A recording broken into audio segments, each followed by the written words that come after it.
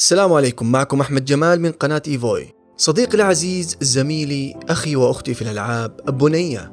راح أعطيك فكرة عن الأحداث اللي راح تبدأ بكرة وراح تسبب ضرر أكبر من الشطة والليمون على جرح مفتوح. هيا نبدأ.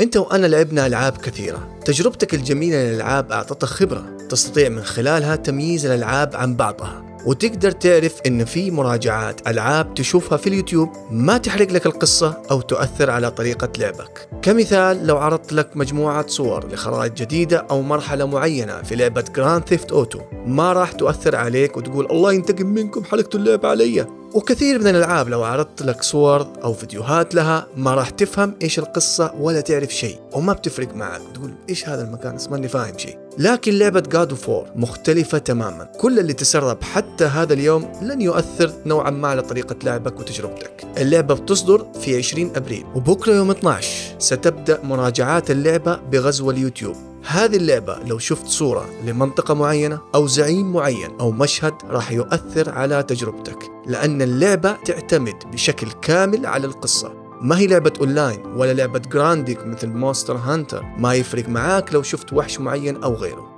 نصيحتي لك من يوم 12 أبريل لو شفت كلمة مراجعة God of War أو نظرة أولى أو نظرة شرعية ما يهم. لا تشوف ولا فيديو في اليوتيوب حتى في قناتنا. لو نزلنا مراجعة لجاد فور لا تشوفها لأنها بتؤثر من جد في طريقة لعبك وبتضيع عليك عنصر المفاجأة والمتعة والتشويق. ممكن تعرف حقائق عن اللعبة أو العالم عشان لما تبدأ تلعبها تكون عندك خلفية ثقافية جيدة فتستمتع أكثر مثل الفيديو اللي نزلناه اليوم في قناتنا ويعطيك معلومات حلوة عن الحقبة اللي تدور فيها أحداث اللعبة وتقدر تشوفه فوق وفي الوصف تحت. في ألعاب صنعت من أجل أن تخوض تجربة ممتعة ورهيبة. لا تحرق على نفسك وأصحابك واستمتع باللعبة.